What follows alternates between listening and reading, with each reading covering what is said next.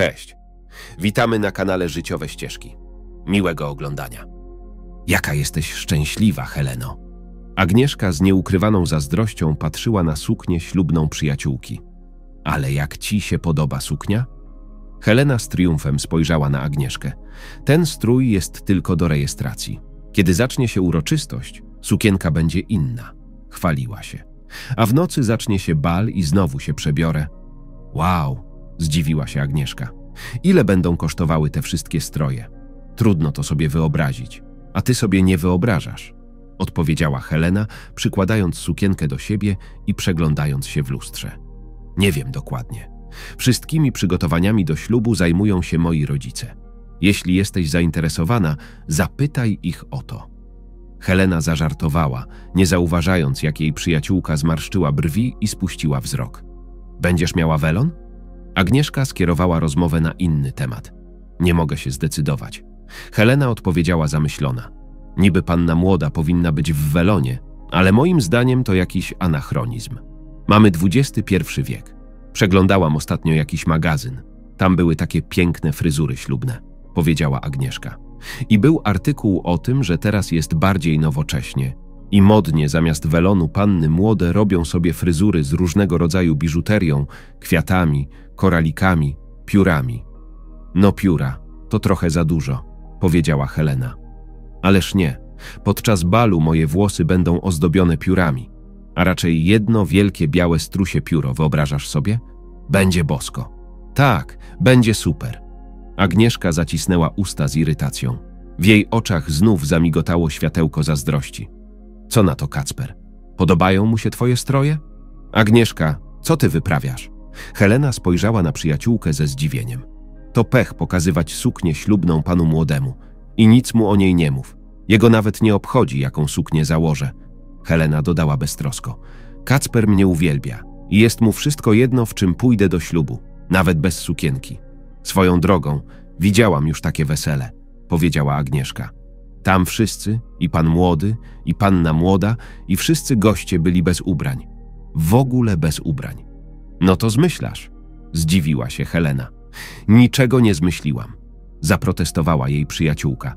Po prostu niektórzy chcą, żeby ich ślub był nietypowy, żeby wszyscy o tym pamiętali. Chcą się tak popisać, zrobić nie tak jak wszyscy. Niebanalnie, wiesz? Niebanalny, nie taki jak wszyscy, mówisz, pomyślała Helena. Hmm, coś w tym jest. Bez ubrań to trochę za dużo. Jest jednak o czym myśleć. Jesteś geniuszem, Agnieszko. Podsunęłaś mi pomysł. Telefon leżący na stole zadzwonił. Helena odebrała. Wiem, że jestem geniuszem. Agnieszka, stojąc za rozmawiającą koleżanką, obejrzała ją od stóp do głów. Byłoby śmiesznie, gdyby przyszła na wesele bez sukienki, pomyślała. Pierwsza bym się roześmiała. Słuchaj, Agnieszka, właśnie dostałam telefon ze sklepu. Powiedziała Helena, skończywszy rozmawiać przez telefon. Przywieźli mi buty na zamówienie, pasujące do sukni ślubnej. Te na przyjęcie. Jest kilka par do wyboru. Będę musiała je przymierzyć i znaleźć najlepiej pasujące. Pójdę już teraz. Nie mogę się doczekać. Te buty są takie seksowne. Nie mogę w to uwierzyć. Idziesz ze mną? Nie, muszę jechać gdzieś w interesach. Agnieszka skłamała. Pogódź się beze mnie, dobrze? Jak sobie życzysz? Helena odpowiedziała obojętnie. W takim razie pójdę się spakować. Pa, do zobaczenia później. Helena pocałowała przyjaciółkę w policzek i wyszła z garderoby. Pa. Na dole gosposia odkurzała dywan w salonie. Gdy zobaczyła, że Agnieszka zamierza wyjść, wyłączyła odkurzacz i bez słowa zamknęła za sobą drzwi. Nawet jej gosposie są takie same. Pomyślała Agnieszka, wychodząc na schody i wzywając windę. Nie odezwie się ani słowem, jakbym nie była przyjaciółką pani domu, tylko jakąś doręczycielką. Znajomi, tak otaczający, mówili o związku Heleny i Agnieszki. Razem chodziły do przedszkola, potem do szkoły, uczyły się w tej samej klasie. Helena urodziła się w zwyczajnej rodzinie, tak jak Agnieszka i wiele innych dzieci w ich klasie.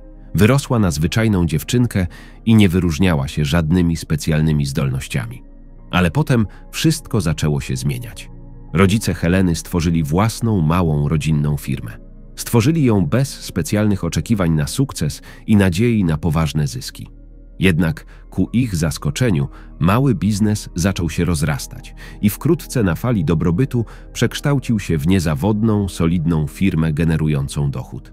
Helena miała nowe drogie ubrania, biżuterię i gadżety, których zazdrościły jej wszystkie koleżanki z klasy. Jej rodzice kochali swoją jedyną córkę i w pełni w nią inwestowali. Oczekiwano, że wzrost standardu życia zmieni charakter i nawyki Heleny.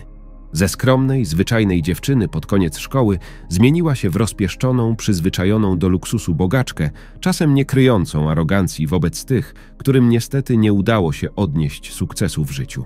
Helena żyła w pełnym przekonaniu, że świat kręci się wokół niej, a zatem wszystko co najlepsze, bez względu na to, do kogo należy, powinno trafiać tylko do niej. Wśród niewypowiedzianego rankingu szkolnych piękności, tworzonego domyślnie przez chłopców, Helena, nie będąc najpiękniejszą z dziewcząt, zawsze zajmowała jedno z czołowych miejsc. Na wyobraźnię chłopców działał i drogi samochód, którym Helenę przywożono i odwożono ze szkoły, i wystawne obchody jej urodzin i innych świąt, na które ona, nieskąpa i skora do robienia kurzu w oczach, zapraszała zwykle prawie całą szkołę. Sytość i samozadowolenie otwarcie okazywane przez Helenę miały magiczny wpływ na chłopców. Z Heleną chcieli się spotykać wszyscy chłopcy bez wyjątku. Stopniowo zmieniała się też kobieca przyjaźń między Agnieszką i Heleną. To, co zaczęło się jako równoprawny związek dwóch przyjaciółek, nagle przekształciło się w coś przypominającego relację między światłą damą o wysokim statusie, a jej ubogą towarzyszką. Wyglądało to tak, jakby Helena pokazywała światu, że wyświadczam jej wielką przysługę. Nadal przyjaźniąc się z jej przyjaciółką z dzieciństwa, chociaż już dawno mógłbym ją wykluczyć z mojego kręgu towarzyskiego. Sama Agnieszka, zajmując drugorzędną pozycję, patrzyła ze zdumieniem, jak Helena po lekcjach kroczy królewskim krokiem szkolnym korytarzem i mentalnie śmiała się z przyjaciółki. Zdejmij wszystkie ubrania. Ciekawe, co wtedy o sobie pomyślisz pomyślała z ukrytym szyderstwem. Kiedy tatuś i mamusia nie mają pieniędzy, to dlaczego nie zbudujesz fajnego czeku? A ona sama nie włożyła w te pieniądze ani odrobiny siebie. Masz to wszystko za nic. Z czego tu być dumnym? Rodzice Agnieszki w momencie ukończenia studiów byli rozwiedzeni. Ojciec nagle zostawił rodzinę DLA młodszej kobiety. Matka nie robiła zamieszania, pozwoliła odejść mężowi bez łez i histerii, ale tylko córka wiedziała, jak trudny i bolesny był to DLA niej rozwód. Nie chcąc być dłużej zależną od byłego męża, matka odmawiała pierwiastków, ale co o tym myślała sama Agnieszka? Niewiele ją to obchodziło. Nic, córciu, poradzimy sobie same, bez niczyjej pomocy, powiedziała jej mama. Jesteś już dorosła, będziesz mogła pracować. Jakoś sobie poradzimy. Oczywiście, że tak, bo gdzie indziej miałybyśmy pójść? Ale mama nie zdawała sobie sprawy, że jej córce, która w tym czasie uczyła się w szkole, nie było łatwo pracować. I to nawet na tle zamożnej rodziny Heleny i jej ekstrawaganckiego wyglądu. Czasami Agnieszkę nachodziły myśli, które nie należały do najwdzięczniejszych. Ach, mamo, mamo, gdzie jest sprawiedliwość? Gdzie twoja troska i rodzicielska miłość? Chciałam czasem powiedzieć, ale Agnieszka nie była typem, który przy każdej okazji obwiesza się smarkami. Wolała zachowywać się równo wobec innych, nie wypowiadała zbędnych i niepotrzebnych słów, a myśląc o zmianach, jakie zaszły u jej dawnej przyjaciółki Heleny, postanowiła podtrzymać tę przyjaźń. Może przyda się w przyszłości. Szczególnie Helena lubiła wyręczać przyjaciółkę w rzeczach, które ją męczyły, a w trudnej sytuacji potrafiła też poprosić o pomoc. Tak oto okazało się, że przezornie kalkulująca Agnieszka domyślnie zaakceptowała swoje miejsce giermka obok statusowej przyjaciółki i dała powód złym językom do nadania jej niepochlebnego miana popleczniczki Heleny. Czy była zazdrosna o przyjaciółkę? Cóż, nie bez powodu, zwłaszcza w najtrudniejszych momentach życia, albo gdy Helena bezwstydnie chwaliła się kolejnym drogim ciuchem. Boże, po co ci kolejny? Zastanawiała się mentalnie Agnieszka na głos, ale pochlebnie chwaląc wykwintny gust przyjaciółki. Szafy w garderobie są tak pełne rzeczy, których w większości nie nosi się miesiącami. Patrząc na ludzi takich jak ty, staje się jasne, dlaczego doszło do rewolucji październikowej. Zawsze myślisz o wywłaszczeniu przez wywłaszczycieli. Stałeś się gruby, mój przyjacielu. Stałeś się zbyt dużą przekąską. Sama Helena, jak się wydaje, nie domyślała się prawdziwego stosunku przyjaciółki do niej i najprawdopodobniej nawet o tym nie myślała. I nic dziwnego. Sprytna, powściągliwa Agnieszka po mistrzowsku nauczyła się trzymać zazdrość w ryzach, nie pozwalając, by mroczne uczucie uzewnętrzniło się otwarcie i zepsuło dobre, pozornie pożyteczne relacje z przyjaciółką z dzieciństwa. Wszystko w tej przyjaźni układało się gładko i przewidywalnie, dopóki między dziewczynami nie pojawiło się niespodziewane jabłko niezgody. A imię tego jabłka brzmiało Kacper, który nie był jabłkiem w dosłownym tego słowa znaczeniu, ale okazał się owocem. W końcu wszyscy od dawna wiedzą, że przystojni faceci to kłopoty DLA dziewczęcych serc. Nakarmiony całą uwagą, taki chłopak jest często wybredny bez miary, a czasem sam nie wie, czego chce. Ale wiedzieć to wszystko nie wystarczy, ponieważ serce dziewczyny nie jest kamieniem, jak wiadomo. Dlatego i na takich chłopaków dziewczyny prowadzą i będą prowadzić na wieki wieków. Pierwszą Agnieszkę poznałem przez Kacpra. Pracując jako administrator w recepcji dużego klubu fitness, w jeden ze zwykłych dni tygodnia od razu go zauważyła, gdy tylko wyróżniający się facet wszedł przez szklane drzwi klubu i podszedł do biurka administracyjnego. Dzień dobry! Uśmiechnął się promiennie do Agnieszki, rozświetlając otaczającą go przestrzeń blaskiem równomiernie wybielonych zębów. Agnieszka to piękne imię. Przeczytał jej imię na plakietce wiszącej na piersi recepcjonistki, tak jak powinno być. Chciałabym zapisać się na miesięczne członkostwo w waszym klubie fitness. Jasne, chwileczkę, odpowiedziała profesjonalnie uprzejma Agnieszka, przechodząc do rejestracji. Tylko na miesiąc? zapytała ponownie. Nasz klub fitness jest bardzo popularny. Nawet celebryci przychodzą tu trenować. Poza tym mamy teraz promocję. Jeśli kupisz karnet na pół roku, dostaniesz pełną zniżkę, a na rok dodatkowo darmową wizytę raz w tygodniu na basenie lub sesję masażu do wyboru. Mądra z ciebie dziewczyna. Co za mistrzostwo sprzedaży! wykrzyknął Kacper. Już to robię. Dodał dwuznacznie, przykrywając dłonią dłoń Agnieszki i patrząc jej wymownie w oczy. Co dokładnie? Agnieszka niespodziewanie zawstydziła się, zabierając dłoń. Roczny abonament, oczywiście. Kacper obdarzył dziewczynę śmiertelnym uśmiechem uwodziciela i w pięć minut stał się posiadaczem karty stałego klienta. Nie tak dalej. Już na tym pierwszym spotkaniu Agnieszka, jak to się mówi, i od razu popłynęła. Zdecydowanie. I to jak popłynęła w swój najsłodszy rejs. Kacper okazał się zadbanym gościem i nigdy nie opuszczał zajęć. Zawsze czysty, zadbany, z godną pozazdroszczenia regularnością pojawiał się pod drzwiami klubu fitness, na co Agnieszka czekała ze szczególną niecierpliwością. Czekała i czekała. Nie wierząc własnemu szczęściu, wkrótce otrzymała od niego zaproszenie na randkę. Spotkaliśmy się wieczorem, Kacper zaproponował posiedzenie we włoskiej restauracji, potem popłynęliśmy łódką po śpiącej nocą rzece choć początkowo nie miała wątpliwości, że pewny siebie przystojniak od razu zaciągnie ją do łóżka. A przystojni mężczyźni znani są z tego, że tacy są i Agnieszka to rozumiała. Nie do końca, zdaje się, zakochana dziewczyna straciła głowę i poszłaby, gdyby do niej zadzwonił. Nawet by się nie załamała i nie podała ceny. Ale Kacper nie zaprosił dziewczyny do łóżka ani za pierwszym razem, ani za drugim, ani za trzecim. Agnieszka rozpłynęła się. Czy istnieje taki mężczyzna? Pomyślała. Trafił mi się beznadziejnie wymarły typ faceta. Przystojny, wolny, ale nie gwizdek ani prolifer. Jak się wkrótce okazało, Agnieszka jednak wcześnie się podekscytowała i rozluźniła. Na scenę wyszła tylko jej najlepsza przyjaciółka Helena i to był koniec pięknej bajki. Nie zamierzała przedstawiać Kacprowi swojej przyjaciółki. Znając charakter Heleny, bała się, że pomyśli, że jej przystojny przyjaciel jest jej więcej wart niż zwykła dziewczyna, którą była Agnieszka. Bała się, że najlepsza przyjaciółka ukradnie jej kochanka, ale tak właśnie się stało. Pewnego dnia Helena z jakiegoś powodu postanowiła odwiedzić Agnieszkę w pracy. Była akurat przejazdem i zatrzymała się po drodze. Kacper właśnie przyjechał na kolejny trening i okazało się, że oboje zderzyli się przy ladzie administracyjnej. Helena, zauważając przystojnego mężczyznę, natychmiast się ożywiła. Agnieszce ścisnęło się serce, gdy zobaczyła ten hazardowy błysk w jej oczach. Niespodziewanie Helena zapragnęła trenować w klubie fitness, choć nigdy w życiu nie była na siłowni.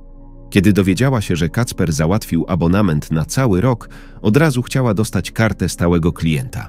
W takim razie czekam na ciebie na siłowni. Potrenujmy dzisiaj razem.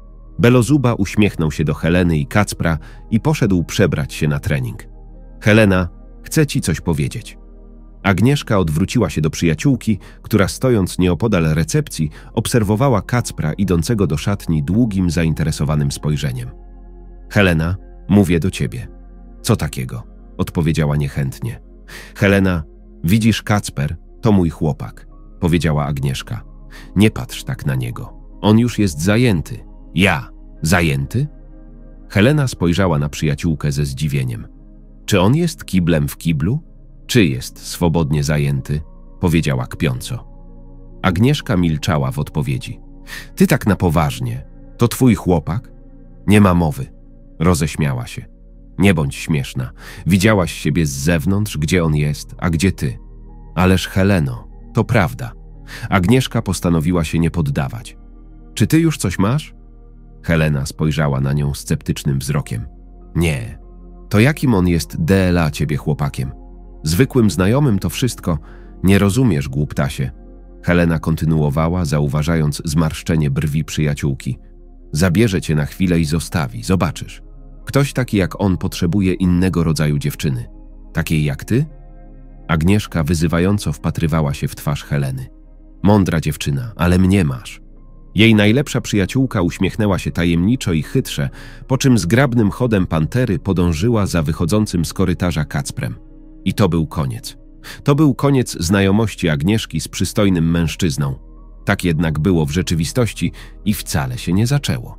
I wkrótce okazało się, że Kacper i Helena postanowili związać swoje losy, ogłaszając wszem i wobec o swoim ślubie. Agnieszka nie miała wątpliwości, że ważnym argumentem za tym, by Kacper zamienił się z jej przyjaciółką, były jej pieniądze i status, a nawet próbując skłócić tych dwoje, wielokrotnie zwracała Helenie uwagę na ten fakt. Agnieszka, biedactwo, ja cię rozumiem, odpowiedziała jej Helena. Nie możesz się pogodzić z tym, że Kacper wybrał mnie. Nie bądź zazdrosna, po prostu życz nam szczęścia. Nie ma DLA ciebie takiego faceta jak mój Kiriusza. Jak możesz tego nie rozumieć? Przygotowania do ślubu szły pełną parą, ale Agnieszka nie chciała się tak łatwo poddać. Co wymyślić takiego, żeby tych dwoje zagwarantowało sobie zerwanie, a ślub zdenerwowanie? Myślała dalej. Plan uwiedzenia Kacpra z późniejszym pokazaniem realnych dowodów jego niewierności nie wypalił. Agnieszka odpowiednio się przygotowała. Piękna bielizna, makijaż, odsłaniająca ciało sukienka w jaskrawym kolorze, siateczkowe pończochy. Pojechała do byłego chłopaka, by z nim porozmawiać, planując dyskretnie sfilmować cały proces. A on, jakby zdając sobie sprawę, po co właściwie Agnieszka przyszła, nawet nie wpuścił jej do środka, jakby nie mieli za sobą tych trzech pięknych randek. Powiedział przez próg zwykłym tekstem, że nie mają o czym rozmawiać i tyle. Ale gdybyś niespodziewanie dowiedział się, że Helena nie jest bogatą kobietą, tylko zwykłą dziewczyną, to co by się stało? Agnieszka krzyknęła rozpaczliwie do zamykających się przed jej nosem drzwi mieszkania Kacpra. Nie bądź śmieszna. Przystojniak spojrzał na dziewczynę z żalem. Byłem pod jej domem i widziałem jej samochód. Czy to nie dowód na jej bogactwo? No to jedź i więcej tu nie przychodź, dobrze? Dodał z irytacją. Drzwi się zatrzasnęły, zamek brzęknął irytująco, a Agnieszka pozostała na półpiętrze. Skąd pomysł, żeby przekonać Kacpra, że Helena wcale nie jest bogata? Ślub, jeśli w ogóle nie zdenerwuje, to niech chociaż zostanie na jakiś czas odłożony, pomyślała. Bez gwarancji, że się uda, oczywiście, ale co do cholery nie jest żartem. Czemu nie? Jak jednak należało podejść do realizacji tego planu? Po namyśle Agnieszka postanowiła zacząć od samej Heleny.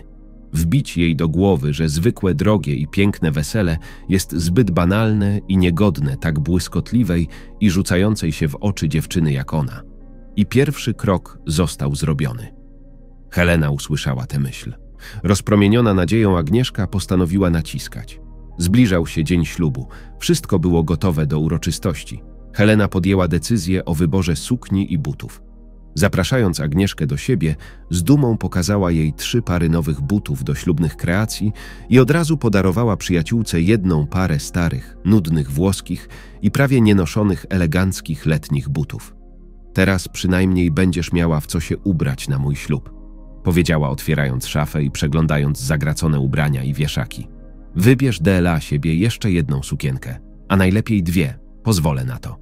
Helena dodała, patrząc majestatycznie na przyjaciółkę. Dziękuję, Heleno.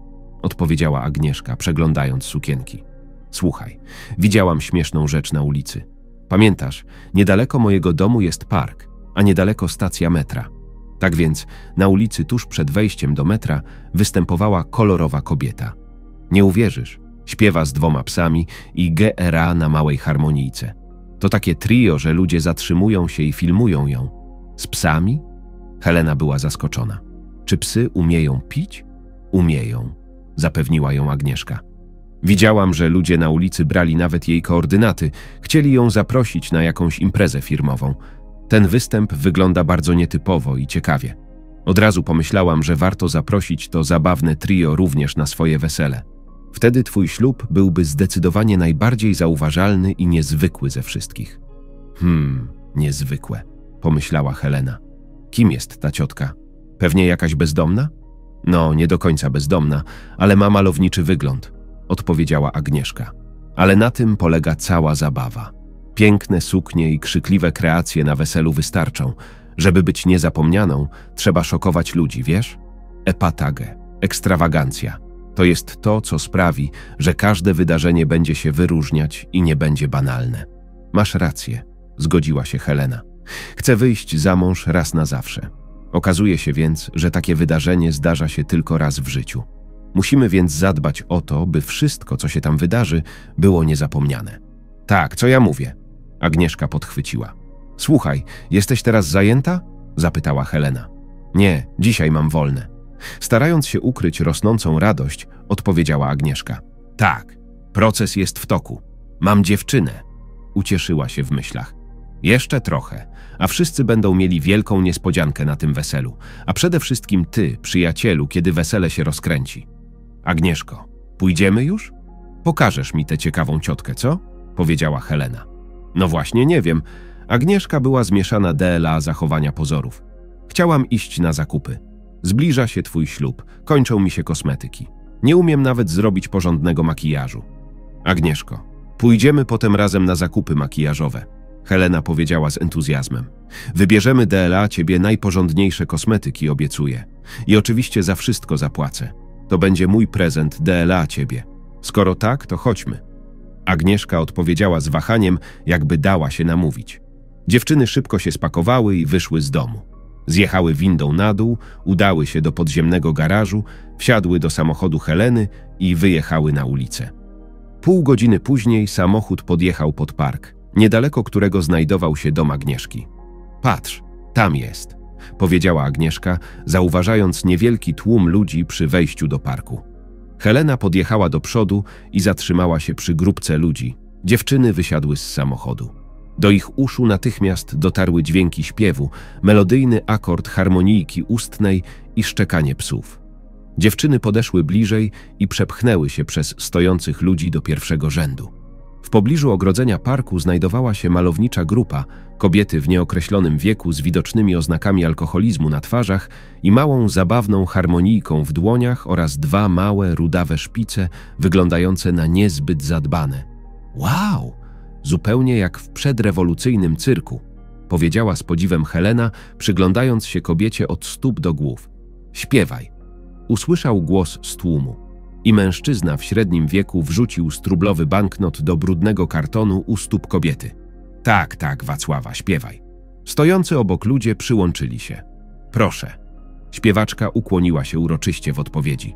Włączyła się muzyka i w powietrze popłynęła melodyjna, znana piosenka w języku francuskim. Wow! Helena odezwała się ponownie. Tak, to prawdziwa piosenkarka. A nie mówiłam? Agnieszka powiedziała triumfalnie. Tak, mam cię, pomyślała. Ale teraz to już na pewno. Dziwna uliczna piosenkarka naprawdę potrafiła śpiewać. Gdy kończyła piosenkę, natychmiast zaczynała kolejną, a słuchacze stali zahipnotyzowani i milczeli. Ktoś znów wrzucił pieniądze do skrzynki u stóp Wacławy. Śpiewaczka ubrana była jaskrawo i nietypowo. Miała na sobie suknię, jakby wyciągniętą ze starego kufra prababki z czasów przedrewolucyjnych. Na głowie miała ten sam stary, zniszczony kapelusz, ozdobiony obranym piórem nieznanego ptaka, a jej chuda, zwiotczała szyja owinięta była tym samym wyblakłym boa. Ręce trzymające harmonijkę były pokryte podartymi siatkowymi rękawiczkami z pociętymi palcami. Nagle zebrani wybuchnęli głośnym, wesołym śmiechem. Połowie piosenki, w samym środku melodyjnego, lirycznego fragmentu granego przez wokalistę na małej harmonijce, psy szpice zaczęły wyć równie melodyjnie i ekspresyjnie w takt muzyki, jakby naśladując śpiewający psi duet. Agnieszka, ja chcę. Chcę, żeby ta piosenkarka wystąpiła na moim ślubie, powiedziała zachwycona Helena, nie mogąc oderwać wzroku od tego niesamowitego numeru. To szczęście, że trafiłaś na tę Wacławę. Helena z radości ścisnęła dłoń przyjaciółki. Tak jest. Jestem twoją dłużniczką. Jesteś geniuszem, Agnieszko. Wiem. Agnieszka zauważyła z zadowoleniem. W sumie to nawet nie musisz mnie namawiać. Ona sama się o to prosi, pomyślała. W razie czego powiem, że sama tego chciała i nie miałam z tym nic wspólnego. Oczywiście, że nie jestem geniuszem, prawdziwym geniuszem manipulacji. Tymczasem przedstawienie dobiegło końca. Przypadkowa publiczność zgromadzona wokół wybuchła aplauzem. Kilka nut znów wpadło do skrzynki wokalisty. Wacława, podziękowawszy wszystkim i ukłoniwszy się, oznajmiła, że jest zmęczona i kończy występ. Zgromadzeni wokół ludzie zaczęli się stopniowo rozchodzić. Chodźmy do niej, powiedziała Helena i biorąc koleżankę za rękę, ruszyła w stronę Wacławy. Cześć, Wacława, powiedziała podchodząc do piosenkarki. Jesteś wspaniałą artystką, a to DLA ciebie. Helena, grzebiąc w torebce, wyjęła portfel, banknot o nominale dwóch tysięcy rubli i włożyła go do pudełka. Dziękuję. Śpiewaczka ukłoniła się w rewanżu. Jest pani bardzo hojna, mademoiselle. Cóż, mogę być jeszcze bardziej hojna. Helena odwzajemniła ukłon. Mam DLA ciebie propozycję biznesową. Czy chciałabyś wystąpić na moim ślubie w ciągu najbliższych kilku dni i zarobić dwadzieścia razy więcej? Dwadzieścia razy. Kobieta wpatrywała się w Helenę ze zdziwieniem. Najwyraźniej ta kwota wydawała jej się zupełnie nierealna. Ale przecież to za dużo. A co musiałabyś zrobić? zapytała Wacława. Nic wielkiego. To samo, co teraz. Helena odpowiedziała. Tak, ale jeszcze coś. Agnieszka sprytnie zainterweniowała. Będziesz musiała przebrać się za pannę młodą, zakryć twarz i wyjść pierwsza do pana młodego. Chcemy zrobić mu małego psikusa, żeby wesele było zabawne i niezapomniane. Masz świetny pomysł, wykrzyknęła Helena. No właśnie, zaskoczmy Kacpra. Wyobraź sobie jego minę, gdy podniesie zdjęcie i okaże się, że to nie ja, a Wacława. Roześmiała się niekontrolowanie. Mogę sobie wyobrazić. Agnieszka uśmiechnęła się skromnie. Mogę sobie wyobrazić. Zaśmiała się w myślach. Wacława, opowiedz mi o sobie, powiedziała Helena. A tak w ogóle, to chodźmy gdzieś usiąść i pogadać. Niedaleko w parku była mała kawiarenka z otwartym tarasem. Wacława wyjęła z pudełka wszystkie pieniądze, które dostała, wepchnęła je do kieszeni swojej malowniczej sukienki i biorąc psy na smycz, a harmonijkę ustną wsuwając pod pachę, poszła za dziewczynami do kawiarni na świeżym powietrzu. Cała trójka usiadła przy jednym ze stolików na zewnątrz, Natychmiast podeszła do nich młoda kelnerka w szarym fartuchu i z notesem w rękach. Możecie zamawiać, co chcecie, i wasze muzyczne pieski też, powiedziała Wacława Helena.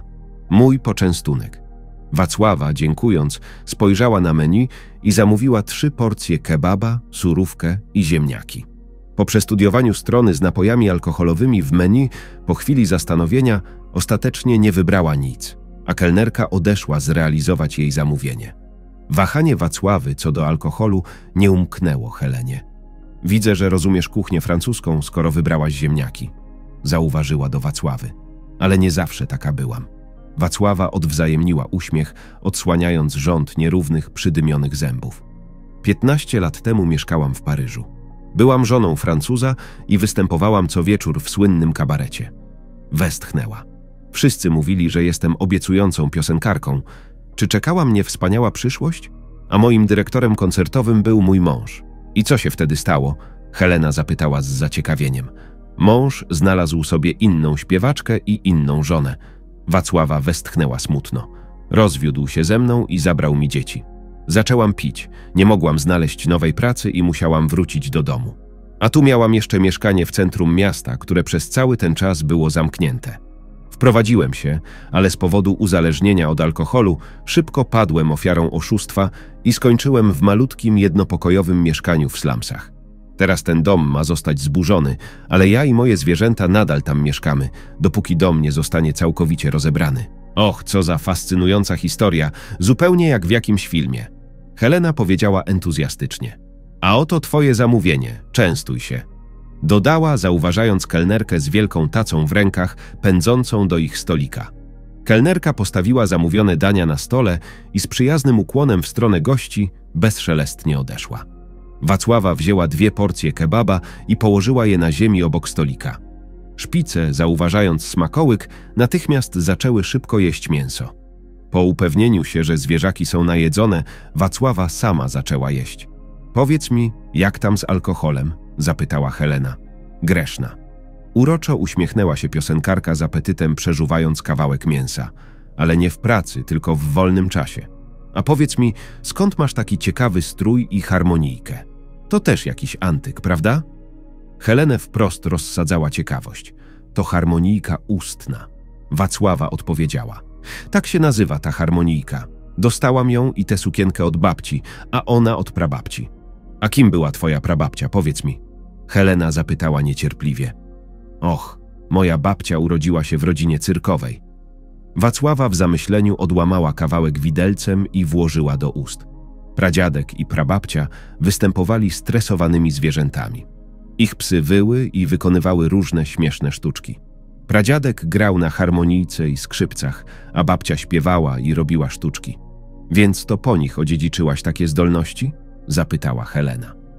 Tak, ale babcia już nie występowała w cyrku, tylko w dzieciństwie, odpowiedziała Wacława.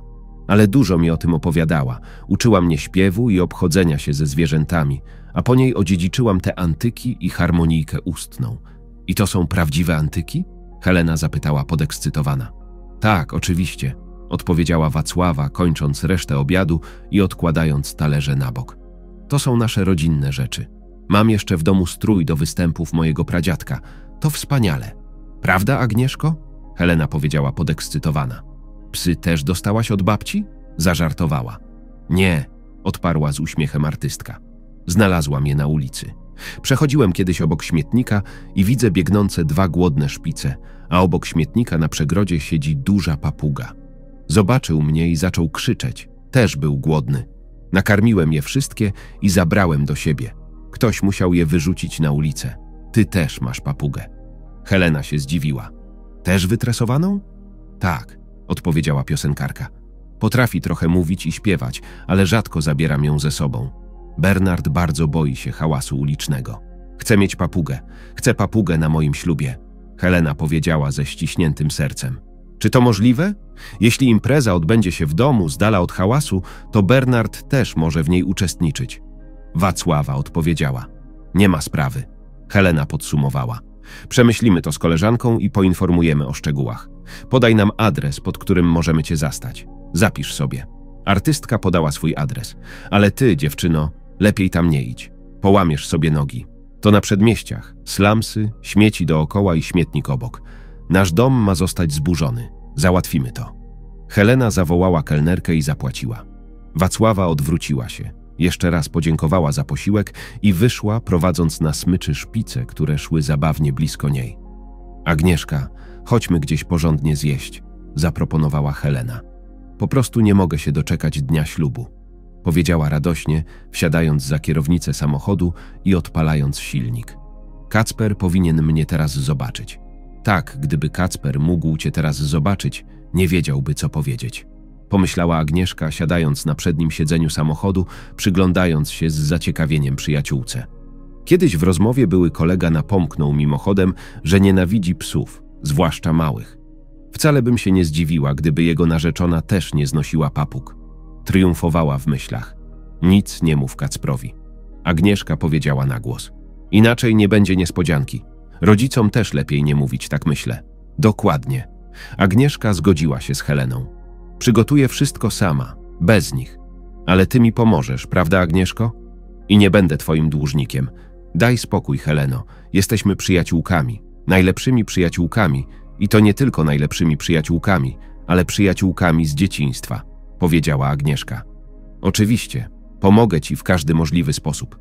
Dziewczyny zjadły obiad w drogiej restauracji na koszt Heleny, poszły do sklepów kosmetycznych i wybrawszy DLA Agnieszki kilka zestawów kosmetyków do makijażu i pielęgnacji skóry, wróciły do domu Heleny.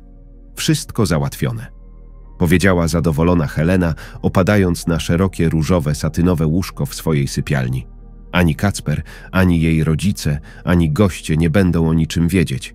Zrobię im wszystkim niespodziankę, której nigdy nie zapomną. Zobaczysz. Jestem pewna, że tak będzie, kochanie. Odpowiedziała Agnieszka, siadając obok niej. Sprawdźmy wszystko jeszcze raz. Helena usiadła na łóżku i spojrzała na przyjaciółkę zamyślona. No to dzwonię i daję znać Kacprowi, że trochę się spóźnię na odprawę. Wszyscy zbierają się na korytarzu i czekają na mnie. W tym czasie zjawia się Wacława i ja, wystrojona panna młoda z twarzą zasłoniętą welonem. Wacława wchodzi na salę i podchodzi do Kacpra, staje obok niego, jakby przygotowywała się do rozpoczęcia rejestracji. I w tym momencie podnosi welon, a Kiriusza widzi, co to jest. Helena ze śmiechu padła na łóżko, dyndając nogami w powietrzu. Fajnie. Słuchaj, Helena, a chcesz, żeby było jeszcze śmieszniej? Zaproponowała Agnieszka, jakby uderzona nagłym pomysłem. Wacława przebierze się w suknię panny młodej, a ty w jej suknię, suknię rodzinną, boa i kapelusz. Zabawne, roześmiała się Helena. Chociaż ta sukienka to taka stara, cała brudna, przepocona chyba. Fuj! Helena, to nic takiego. Po prostu oddamy te wszystkie rzeczy do pralni i będą jak nowe, powiedziała gorąco Agnieszka. No tak, masz rację. Helena dała się przekonać. Patrz, a tu się okazuje, że pod przykrywką panny młodej pojawiła się Wacława. Agnieszka z entuzjazmem kontynuowała. Wszyscy są w kropce, zwłaszcza pan młody. I wtedy pojawiasz się ty, w rodzinnym stroju, z harmonijką koncertową, szpicrutą na smyczy i włala, z papugą.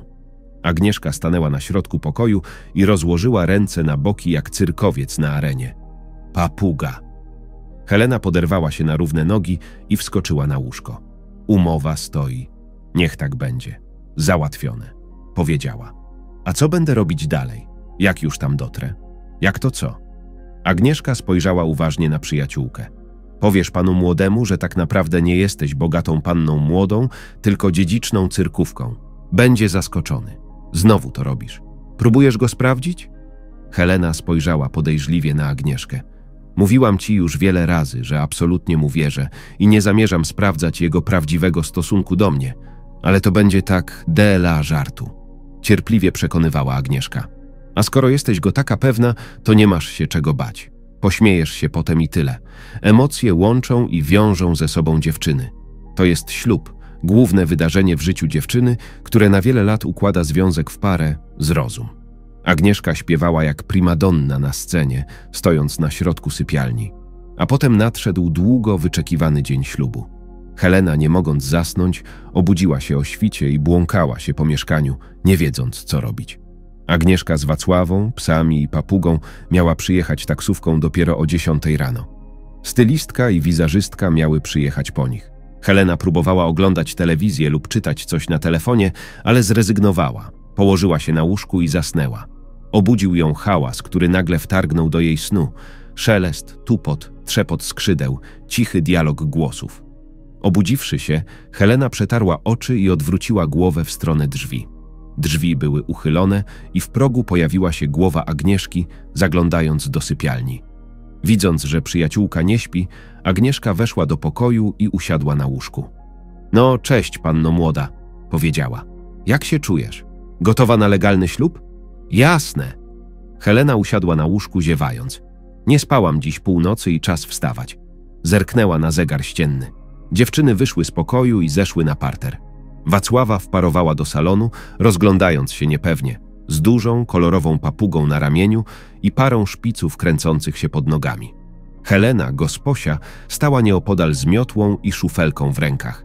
Jeden ze szpiców, nie zwracając uwagi na mistrzynię czystości, zdążył już zabrudzić dywan w salonie niewielką kubką swoich nieczystości.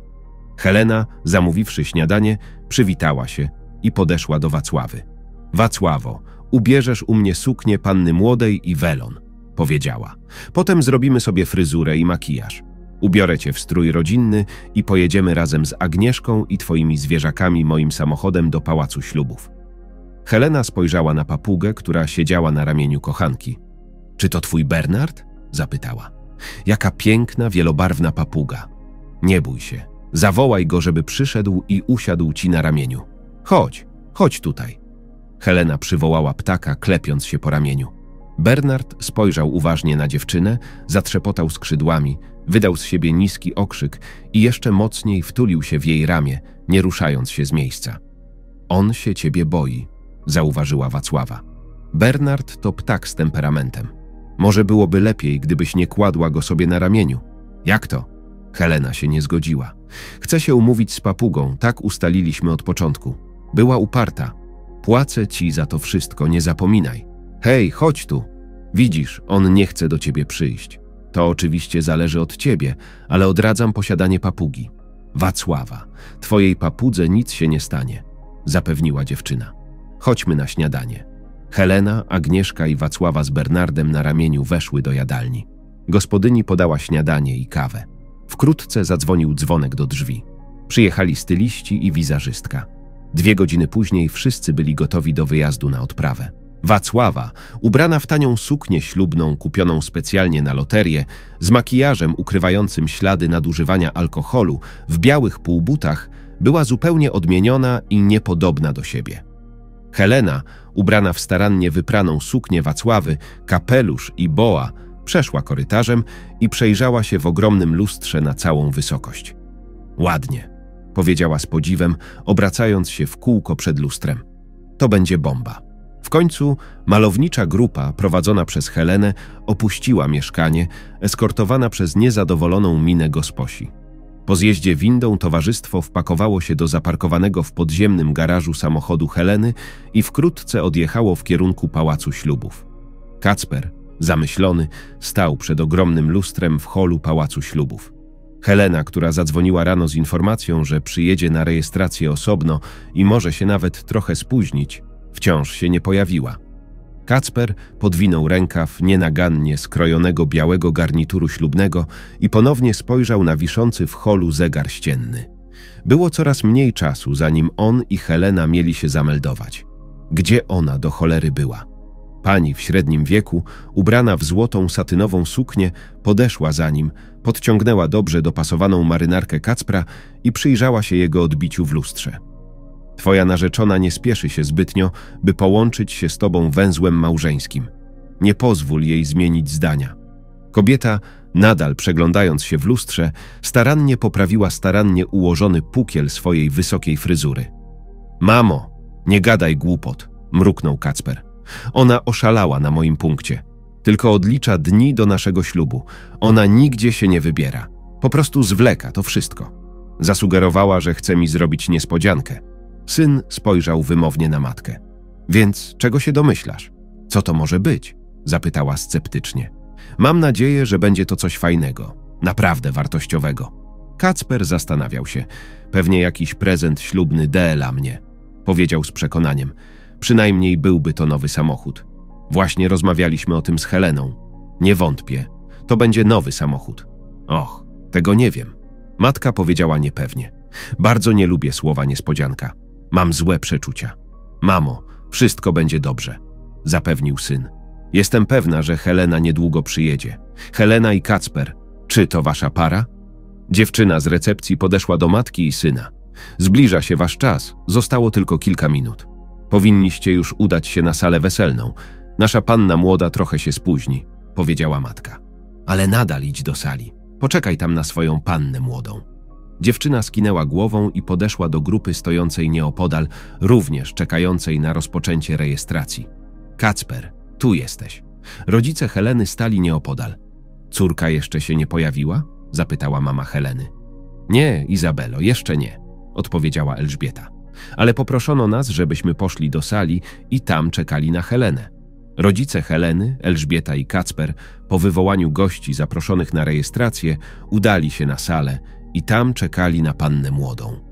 Czas mijał i Kacper zaczynał się trochę denerwować, gdy nagle drzwi się otworzyły i do sali weszła panna młoda w białej tiulowej sukni zakrytej welonem.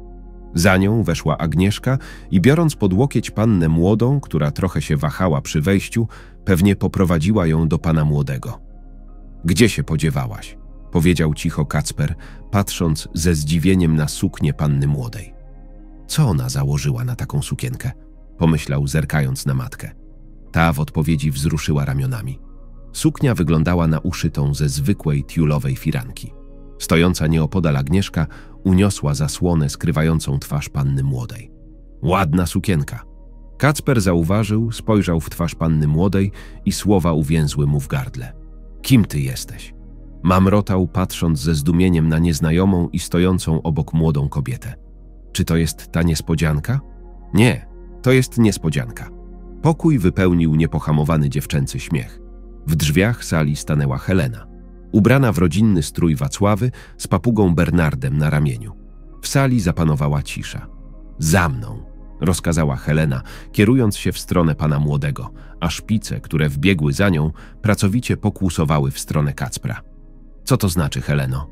Kacper skrzywił się w piskliwym grymasie, patrząc na rudawe, kudłate kłaczki szurające u jego stóp.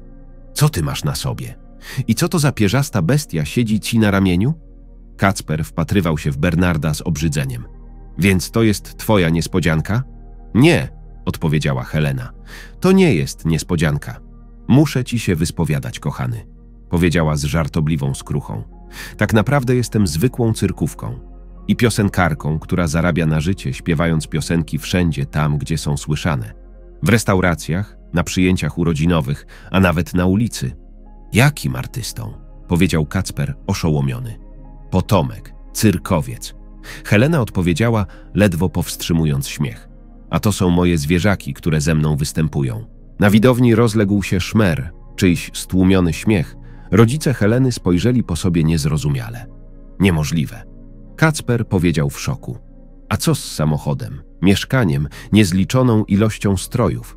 Przecież to wszystko było tylko wypożyczone na raty. Helena odpowiedziała z udawanym żalem. Kacper, bałam się powiedzieć ci od razu. Przepraszam. Helena tylko żartuje. Wtrąciła się matka panny młodej Izabela. Córko, przestań żartować. Witold, przynajmniej ty jej powiedz. Zwróciła się do ojca Heleny, który był zaskoczony milczeniem Heleny. Zacznijmy rejestrację jak najszybciej. Czas ucieka. Jestem gotowa, powiedziała Helena, stając obok Kacpra. Zaczynajmy. Kacper jednak milczał, patrząc z powątpiewaniem na pannę młodą. Coś cię trapi? Helena spojrzała na pana młodego ze zdziwieniem. Zaczynajmy. Jestem gotowa. Powtórzyła uparcie, biorąc Kacpra pod ramię. Nie wiem. Kacper nieśmiało zabrał rękę Heleny. Jak to nie wiesz? Jeszcze dziś rano byłaś pewna, że chcesz zostać moim mężem? Helena wpatrywała się w twarz narzeczonego i nagle zmienił zdanie. Tak, mama ma rację. Żartowałam sobie z tego cyrkowca, ale widzę, że mój żart nie wypalił. Cóż, przepraszam, dodała z irytacją. Pobieramy się czy nie, ale chciałabym się najpierw upewnić. Kacper wydawał się być zakłopotany. Czego? powiedziała zdezorientowana Helena. Upewnić się czego? Elżbieta zachwiała się i zemdlała. Mamo! Kacper podbiegł do niej. Wody, szybko. Wszyscy biegali i krzątali się. Kacper przez przypadek nadepnął na jednego z psów. Szpic, piszcząc z niespodziewanego bólu, podskoczył i ostrymi zębami wgryzł się w nogawkę pana młodego, wyrywając skrawek materiału ze starannie wyprasowanych spodni jego ślubnego garnituru. Ty, draniu, wynoś się stąd! Kacper kopnął pieska. Nienawidzę tych obrzydliwych stworzeń, powiedział z obrzydzeniem, patrząc na dziurę w nogawce spodni. Zauważywszy, że jego kolega jest ranny, drugi szpic nie pozostał obojętny i podbiegł do Kacpra. Kopnął go w nogawkę i opryskał drugą nogawkę jego ślubnego garnituru. Natychmiast zabierz stąd te psy! Wrzasnął Kacper, patrząc zszokowany na zniszczony garnitur. Kto mi teraz zwróci pieniądze za przedmiot, co? Papuga Bernarda, spłoszona hałasem i zamieszaniem, nagle wydała głośny okrzyk i odleciała z ramienia Heleny. Jakby szukając swojej prawdziwej pani Wacławy, zaczęła gorączkowo biegać po pokoju, w panice trzepocząc skrzydłami i wpadając na gości. Synu, pomóż mi wstać. Elżbieta, która leżała na podłodze, powiedziała zupełnie spokojnym głosem. Nic mi nie jest, nie bój się, zapewniła syna. Musiałam sobie jakoś poradzić z sytuacją, dlatego zemdlałam. wyjaśniła matka, opierając się na ramieniu Kacpra i podnosząc się na nogi. Wygląda na to, że ślub został przełożony. Nie spieszyłabym się z przekonywaniem o godności narzeczonej. Zgadzam się, ślubu nie będzie, odpowiedział Kacper, odgarniając kosmyki rudej psiej sierści przyklejone do rozdartej nogawki spodni.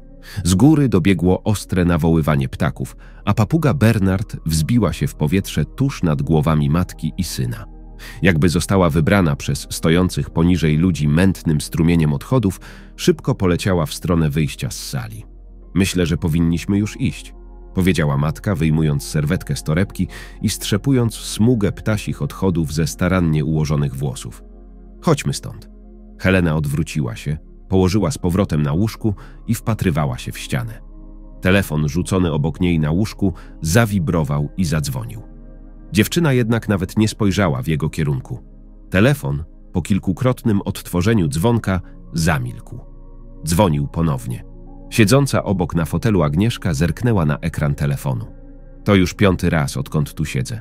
Nie zamierzasz odebrać? A dlaczego miałabym? Odezwała się Helena. Wszystko jest jasne, więc wytłumacz mu to, powiedziała Agnieszka.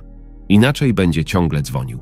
Naprawdę, Heleno, nie wyjaśniłaś mu tego od tamtego dnia. Agnieszka wstała z fotela i opadła na łóżko obok leżącej przyjaciółki. Myślę, że skoro sama zdecydowałaś, że między wami koniec, to powinnaś mu to powiedzieć wprost.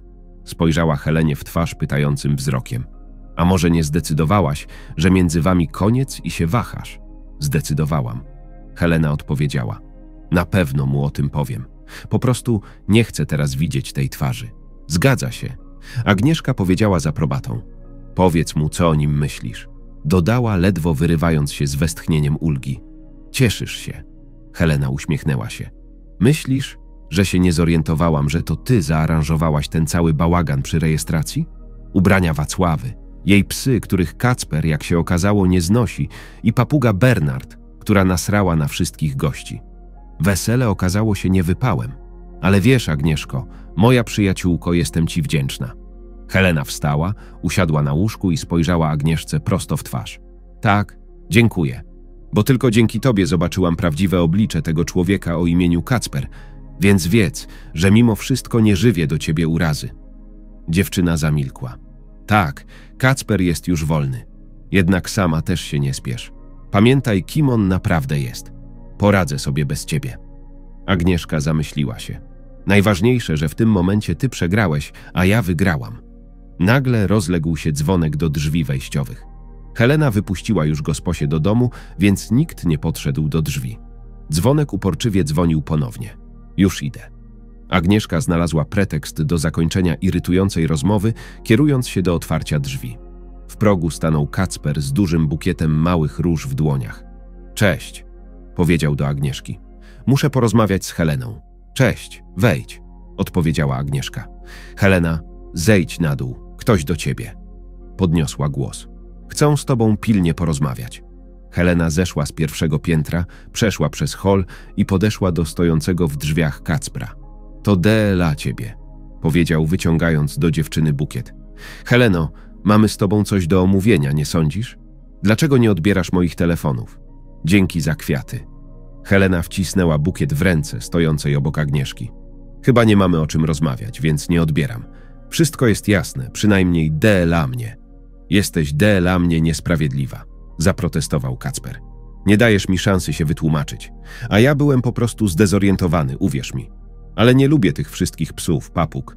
Czy to jest przestępstwo? Nie, oczywiście, że nie. Helena odpowiedziała spokojnie. Ale to nie ma znaczenia. Ważne, że między nami koniec. Życzę ci wszystkiego najlepszego i mam nadzieję, że nigdy więcej cię nie zobaczę. Helena odwróciła się, przeszła przez korytarz i zniknęła w kuchni. Helena, zaczekaj. Kacper poszedł za nią. Nie rób tego. Agnieszka zatrzymała go. Kacper, lepiej wyjdź. A zresztą, skoro dziewczyna nie chce się z tobą spotykać, to czy nie czas zwrócić uwagę na innych tych, którzy w przeciwieństwie do niej chcą? Dodała wymownie, zalotnie opuszczając rzęsy. Kacper spojrzał na dziewczynę nieszczęśliwie od stóp do głów. Dobrze, w takim razie PA. Powiedział, uśmiechając się z ledwo wyczuwalną pogardą i wyszedł przez drzwi. Zamknąwszy za sobą zamek, Agnieszka uśmiechnęła się z zadowoleniem i tuląc bukiet do piersi, poszła za przyjaciółką do kuchni. Helena siedziała przy stole z garnkiem wrzątku na kuchence. Napijmy się chociaż kawy, powiedziała do Agnieszki. Od rana nic nie jadłam. W ogóle nie miałam apetytu. No, dzięki Bogu. Teraz masz apetyt. Nie kryjąc radości, Agnieszka odpowiedziała. A mówiłam, żebyś mu wytłumaczyła i od razu wszystko będzie lepiej. Heleno, chyba już pójdę. Dodała wesoło. Napij się kawy sama. Mam jeszcze coś do załatwienia. Och, domyślam się, co to za sprawy. Pospiesz się, zanim wyjdzie. Helena odwzajemniła uśmiech. Koleżanko, pamiętaj, co ci mówiłam o Kacprze. Tak, pamiętam, pamiętam. Agnieszka pocałowała Helenę w policzek. Czego mam się bać? Może i jest merkantylny i chciał być z tobą tylko DLA zysku. Ale ja nie mam pieniędzy i nic mi nie zabierze, więc nie mam się czego bać. Dobra, PA koleżanko, sama zamknę drzwi. Agnieszka ściskając bukiet wyleciała z kuchni. Drzwi wejściowe trzasnęły w przedpokoju. Pa. Helena odpowiedziała zamyślona. Idź i zaspokój swoje pożądanie. Spróbuj z nim szczęścia. Może ci się uda. Chociaż nie sądzę. Dodała, przypominając sobie ponownie moment nieudanej rejestracji z Kacprem. Kacper opuścił wejście domu Heleny, wsiadł do pobliskiego samochodu i z irytacją trzasnął drzwiami fotela kierowcy. Nie trzaskaj drzwiami, bo zepsujesz zamek, a naprawy nam teraz nie służą. Zrobił uwagę do syna siedzącego na miejscu pasażera i matki. Rozmawiałeś z nią? Rozmawiałem. Kacper położył ręce na kierownicy i nie kryjąc niezadowolenia, uderzył w nią dłonią. Po co? Powiedziała, że między nami koniec. Spodziewałem się, skomentowała matka. Ale warto było spróbować. I że Agnieszka też tam jest. Kacper kontynuował. To pewnie ona wkurzyła Helenę, żeby mnie wygonić. Jest szczęśliwa, że ślub się nie udał i tego nie ukrywa. Zemściła się, a teraz ze mną flirtuje, jakby zwracała uwagę na innych, którzy się tobą interesują, w przeciwieństwie do Heleny. Komu jesteś potrzebny, taki żebrak? Tak, potrzebujemy teraz pieniędzy, synu. Zmarnowaliśmy mnóstwo pieniędzy na to wesele. Co mogę powiedzieć? Musimy je gdzieś znaleźć. Byłem bardzo zdezorientowany, gdy zobaczyłem tę kobietę pod jej welonem, więc zrobiłem z siebie głupca. Syn zaczął się usprawiedliwiać. I te żarty Heleny, plus najbardziej obrzydliwe małe pieski i obrzydliwa papuga. Kacper skrzywił się z obrzydzeniem. Tyle zmarnowanych pieniędzy, a ile jeszcze jesteśmy winni? I czym to teraz spłacić? Co teraz robić? Niestety, mamo, nikt nam teraz nie zwróci pieniędzy, powiedział syn, zaciskając zęby w bezradności. Taką obiecującą pannę młodą przegapiłem. Po co mi taka żebraczka jak Agnieszka? No, od biednej kobiety też można coś dostać. Elżbieta powiedziała tajemniczo. Patrz, idzie. Matka odwróciła głowę w stronę wejścia. W drzwiach pojawiła się Agnieszka. Zeszła po schodach ganku, trzymając w ręku bukiet, który podarowała jej Helena i uśmiechając się radośnie, lekkim krokiem odeszła. Idź i dogon ją, powiedziała Elżbieta. Ją? Po co? Kacper nie zrozumiał. Dogonić, mówi się. Nalegała jej matka. Dogonić, powiedzieć, że z nią też trzeba porozmawiać. Umów się na spotkanie. I bądź miły. Nałóż na siebie swój najlepszy urok, jaki umiesz. I co wtedy? Jaki to wszystko ma sens? Syn wpatrywał się w matkę, nie rozumiejąc. Tak, jest jedna myśl. Elżbieta odpowiedziała zamyślona. Rób, co ci każą, wtedy będziesz wiedział wszystko. Dodała z przekonaniem. Agnieszka wróciła do domu, usiadła w swoim ulubionym fotelu i z łomoczącym sercem zamknęła oczy. Kacper znów będzie z nią. Będzie, mimo tych wszystkich bogatych narzeczonych i tych wszystkich misternych intryg. Boże, jaka jestem szczęśliwa, pomyślała dziewczyna. Jutro idę z nim na randkę. A on sam się o to prosił i był taki słodki, taki czarujący. Teraz wszystko będzie po staremu, aż do momentu, kiedy Helena diabli wzięli w pracy, a ona, widząc mojego chłopaka, od razu rzuciła się na niego. Ale teraz sprawiedliwości stało się zadość i nie miała powodu, by zabierać to, co do niej należało. Agnieszka nie wątpiła, że ona i Kacper jeszcze się spotkają. Następnego dnia Agnieszka wstała niewcześnie, pozwalając sobie na porządny sen. W pracy dziewczyna została wysłana na urlop. Jej mama wyjechała na wczasy do miejscowego sanatorium wojewódzkiego, więc ona, nie spiesząc się nigdzie, otworzyła szafę z ubraniami i zaczęła wybierać sukienkę na zbliżającą się randkę. Po wybraniu kilku z nich i podziwianiu swojego odbicia w lustrze szafy, Agnieszka na zmianę zakładała jedną lub drugą i w końcu zdecydowała się na tę, którą Helena sprezentowała jej tuż przed ślubem. Zadowolona z wyboru, powiesiła sukienkę na brzegu szafy, wyjęła buty, które dostała od Heleny i popijając coś po cichu, poszła do kuchni zrobić sobie śniadanie. Dzień minął niepostrzeżenie i w końcu nadszedł wieczór. Agnieszka, czując przyjemne podniecenie, położyła się w wannie z pachnącą pianą. Stanęła pod chłodnym prysznicem i promieniejąc świeżością i czystością, zaczęła szykować się na randkę. Zrobiła makijaż, ułożyła długie do ramion włosy w duże, lejące się fale i założyła piękną, drogą, koronkową bieliznę. Nie było wiadomo, jak ten wieczór może się skończyć. Postanowiła, że jeśli Kacper wezwie ją dziś do siebie, nie będzie się opierać. Agnieszka założyła wybraną przez siebie sukienkę i włożyła za ucho krople drogich francuskich perfum, również podarowanych przez przyjaciółkę Helenę. Zadzwonił telefon. Agnieszka spojrzała na ekran i jej serce znów zatonęło ze szczęścia. To był Kacper. Agnieszka. Jego głos zabrzmiał kusząco w słuchawce. Już przyjechałem. Siedzę w samochodzie pod twoim domem. Wyjdź. Czekam na ciebie. Tak, już jadę. Jestem spakowany. Nie mogąc ukryć wybuchającej radości, Agnieszka odebrała, wsunęła stopy w buty, wzięła torebkę i zarzucając na ramiona lekki płaszcz, wyszła z domu. Kacper, ucieleśnienie ideału współczesnego młodego mężczyzny, siedział na siedzeniu kierowcy swojego samochodu i czekał na Agnieszkę. Gdy zobaczył dziewczynę wychodzącą z wejścia, powoli wysiadł z samochodu, wyjął z tylnego siedzenia bukiet mleczno-białych róż i wyszedł jej na spotkanie. To DLA ciebie, powiedział wręczając kwiaty i całując Agnieszkę w policzek. Gdzie chciałabyś pojechać? Jakieś życzenia? Zapytał, otwierając przed dziewczyną drzwi samochodu i pomagając jej usiąść na siedzeniu. Może popływamy łódką po rzece jak kiedyś? Łódką? Zastanawiała się Agnieszka. Dzisiaj jest zbyt chłodno, żeby pływać po rzece. Chcę iść gdzieś, gdzie jest cieplej i przytulniej. No to usiądźmy gdzieś, zaproponował Kacper. Wybierzmy jakieś miłe, przytulne miejsce. Zjedzmy kolację, potańczmy, porozmawiajmy. Powiedział, zamykając drzwi i siadając. Agnieszka uwielbiała ryby i owoce morza, a Kacper, wiedząc o tym, zaprowadził ją do małej, przytulnej restauracji z owocami morza. Zajmując zaciszny stolik DLA dwojga za ścianką działową, zamówił świeże ostrygi z chrupiącymi grzankami z czarnego żytniego chleba, szalotką i cytryną oraz butelkę francuskiego białego wytrawnego wina. Agnieszka była absolutnie zachwycona. Z błyszczącymi ze szczęścia oczami wypijała kieliszek za kieliszkiem i wkrótce poczuła beznadziejny szum w głowie. Zaczęła grać wolna, delikatna muzyka i Kacper poprosił Agnieszkę do tańca. Agnieszka, powiedział, obejmując ją w pasie i kołysząc się z nią lekko w powolnym tańcu. Jest jak dawniej, prawda? Jeszcze zanim poznałem Helenę. Nie wiem.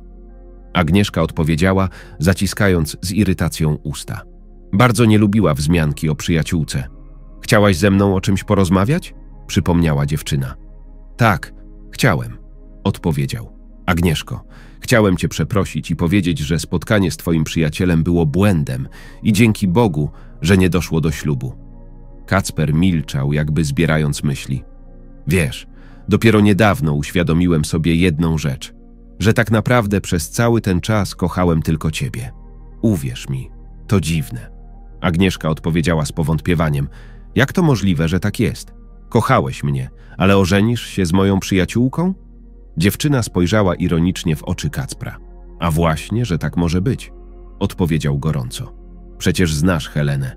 Jak czegoś chce, to idzie do przodu, choćby nie wiem co i nie widzi przed sobą żadnych przeszkód. Już za pierwszym razem prawie weszła za mną do męskiej szatni.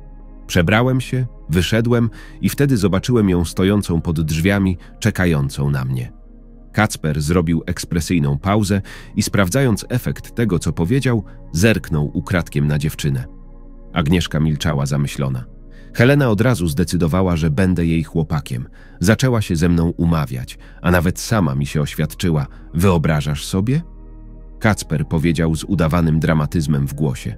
A ty się cieszyłaś. Agnieszka w końcu się odezwała.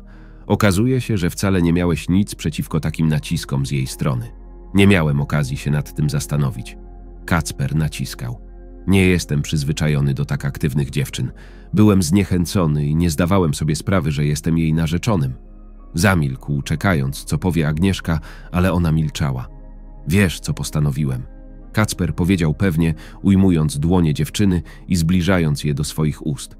Jeśli mam się z kimś ożenić, to będziesz to ty. Długo się nad tym zastanawiałem, Agnieszko.